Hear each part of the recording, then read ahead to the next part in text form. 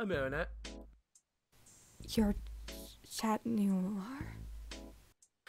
oh crap! Oh shoot! What did I do? Oh my god! This was a very bad idea. Um, don't just stand there, Agreste. Say something. Why did I let Luka talk me into this dumb makeover anyway? Oh my god! Is she hyperventilating? Holy crap! I've killed Marinette. What have I done? I'm gonna go to jail. What will my father say? Oh my god! I ruined my life.